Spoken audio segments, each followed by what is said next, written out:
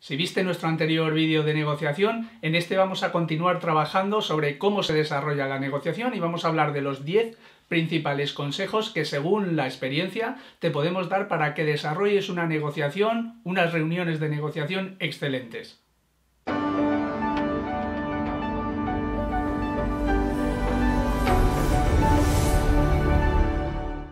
Una primera pregunta que se hace mucha gente es ¿quién tiene que hacer la primera propuesta? ¿Espero a que lo haga la otra parte o la hago yo? Bien, en función de lo que es costumbre en el sector o en la relación que tenemos con ese cliente, con ese proveedor en concreto, se puede dar una circunstancia u otra. No te preocupes, vamos a hablar de las dos. Si la primera propuesta la hacen ellos, el peligro puede estar en que realmente no nos guste y tememos que si nos negamos a ella podamos romper las conversaciones. Mi consejo es que no seáis demasiado rápidos en dar una respuesta sobre si nos gusta su propuesta o no. Siempre la podemos pulir, podemos hacer preguntas. En el caso de que sea una propuesta muy atrevida, que realmente salgan ganando ellos, pero no nosotros, podéis incluso ignorarla y hacer una contrapropuesta. Cuanto más tiempo estéis hablando sobre una propuesta que no os guste, eso se convierte en lo que se denomina en negociación un ancla las anclas que no nos gustan, cuanto menos caso le hagamos, mejor. ¿Y qué pasa cuando somos nosotros los que hacemos esa primera propuesta? Bien, seamos optimistas, seamos ambiciosos.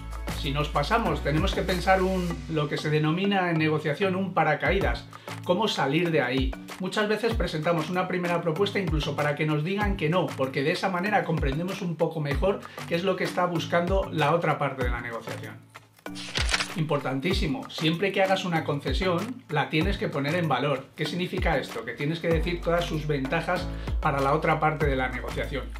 Y por supuesto, tratar de buscar una contrapartida. Si damos concesiones sin contrapartidas, poco a poco nos irán comiendo el terreno.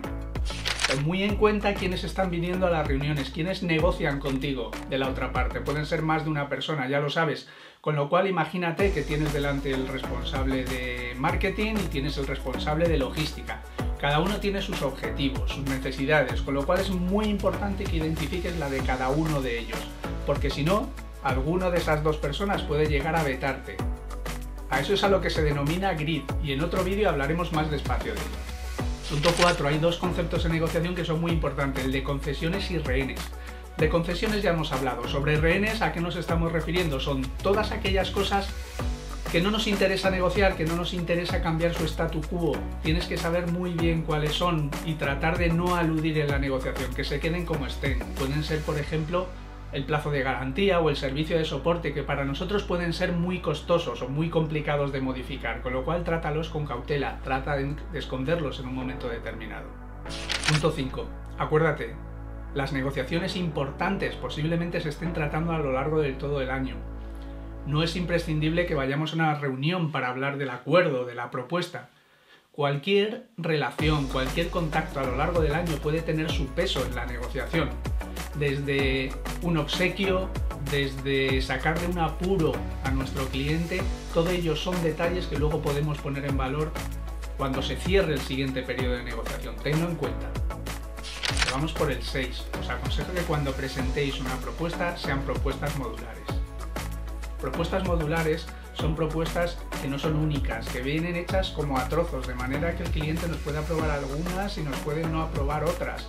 ¿Qué objeto tiene eso? Sondear muchísimo mejor al cliente, entender qué le interesa más que menos y por otra parte también el no pillarnos los dedos, que en un momento determinado si presentamos una oferta como un bloque eso puede ser demasiado riesgo. Hagamos propuestas modulares.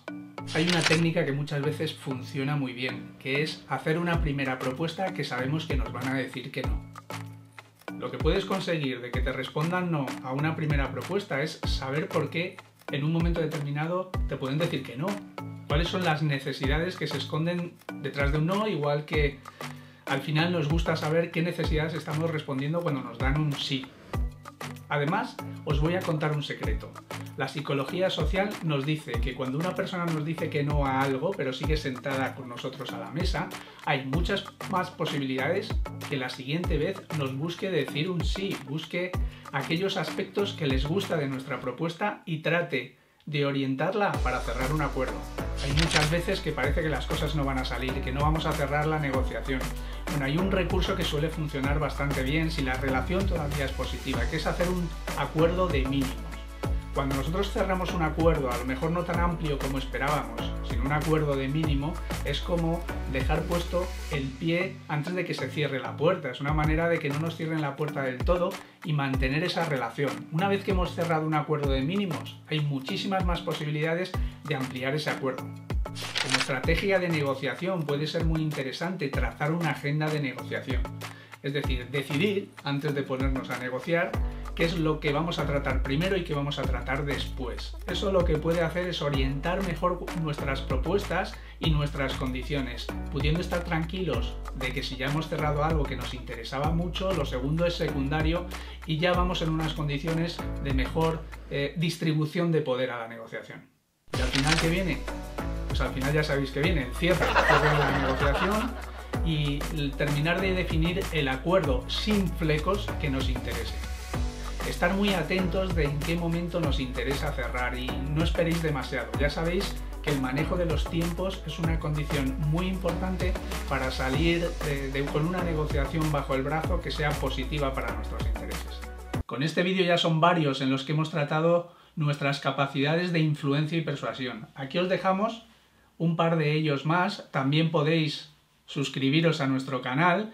El objetivo al final es que cada vez estéis mejor preparados. Y como siempre, si tenéis cualquier duda, aquí tenéis nuestros datos de contacto, nuestra información sobre nuestro website estrategiaypersonas.com. Ya sabéis dónde estamos. Un abrazo.